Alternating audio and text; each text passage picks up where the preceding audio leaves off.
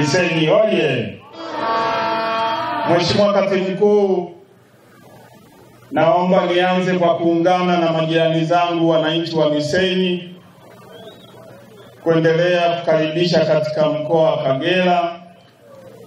Tunakushukuru sana, ziara yako katika mkoa wetu inatupa uhai mpya, na tunaona kote ambapo unapita unatatua changamoto na kuhakikisha tunaendelea kujipanga vyema katika kutekeleza ilani ya Chama cha Mapinduzi.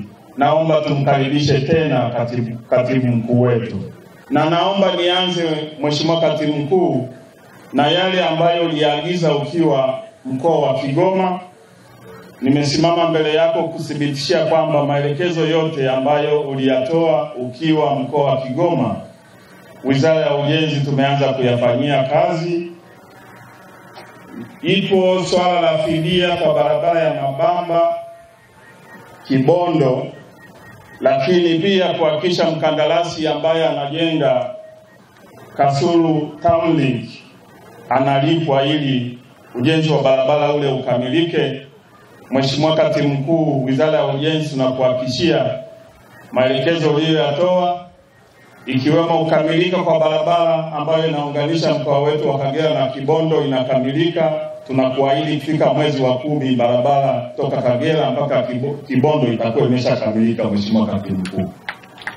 Lakini vile vile barabara nyingine ambazo ulitoa maelekezo na commitment ya wizara kwamba kufika mwezi wa tatu mwakani barabara zitakuwa zimekamilika. Mheshimiwa Katibu Mkuu, tutakuhakikishia hilo, tutalisimamia ili kuhakikisha zinakamilika ndani ya muda. Naona mambo mengi katika kutekeleza ilani ya Chama cha Mapinduzi ndani ya jimbo la Nkenge ni mengi kiasi kwamba hata muda ambao umepewa haukutosha. Hiyo inaonyesha ni jinsi gani ulivyokuwa mchapakazi na inaonyesha ni jinsi gani serikali ya Chama ya Chama cha Mapinduzi ya awamu ya sita inavyotekeleza vile ambavyo tuliahidi katika ilani. Hongera sana Mheshimiwa Kyombo, na mimi ni kuahidi na taa ambazo umekuwa ukiziomba wizarani kwa ajili ya hapa Kyaka, Bunazi pamoja na Mtukula, tuko mbioni katika manunuzi ili kuja kufunga taa Kyaka, Bunazi pamoja na kule Mtukula. Yale ambayo nilitakiwa kuyaeleza Mheshimiwa Kyomba ameeleza vizuri, ikiwemo shukurani kwa serikali yetu ya Chama cha Mapinduzi ya awamu ya sita.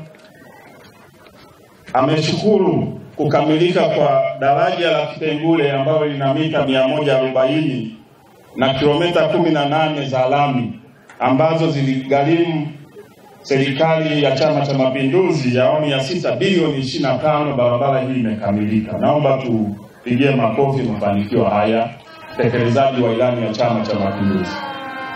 Lakini vile vile Mheshimiwa Kyombo akakumbusha kwamba tunadaiwa advance payment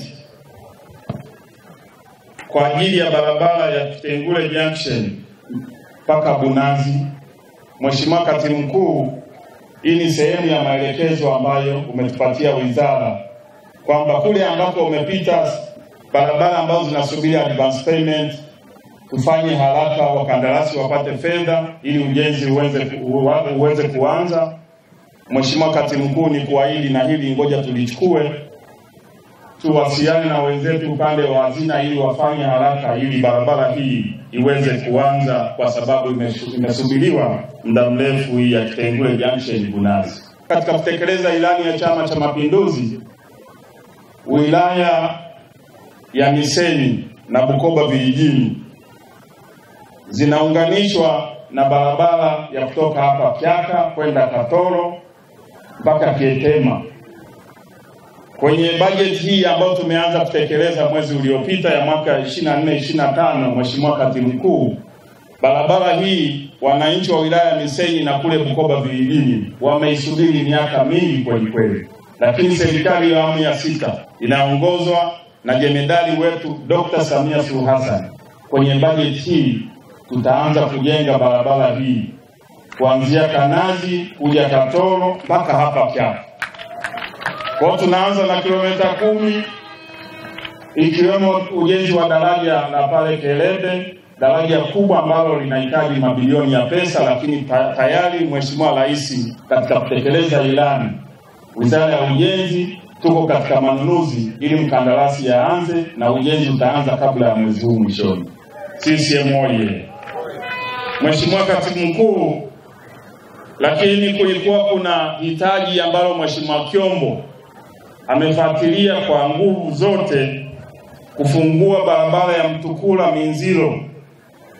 Tayari tumeshafungua kilomita sita na mkandarasi yuko saiti anaendelea na kazi ili tuweze kufungua barabara yote ya kuanzia Mtukula mpaka Minziro.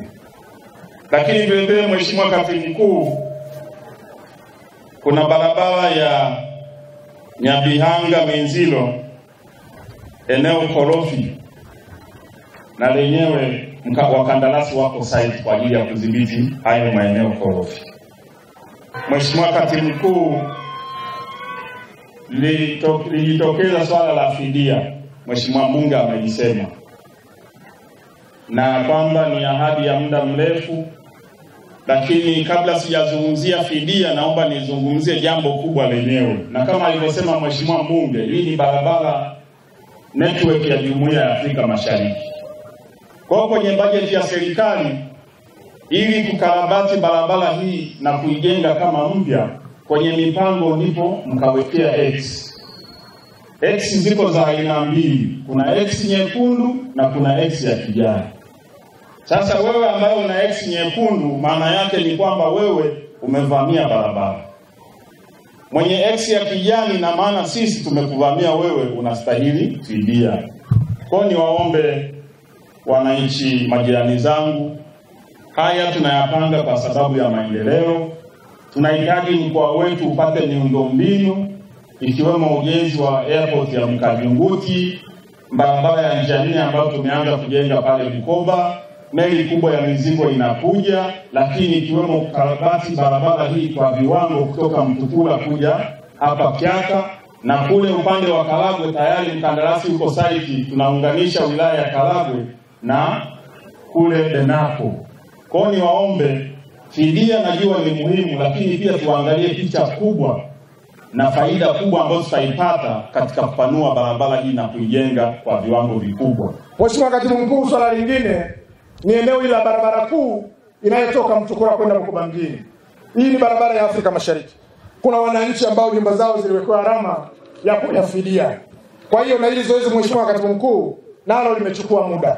Tukuombe sana Mheshimiwa Katibu Mkuu, kwa sababu umefika, tunakutwisha mizigo yote kama baba yetu mtendaji mkuu wa chama, lakini tuna imani haya yote unayaweza, yako ndani ya uwezo uwezo wako.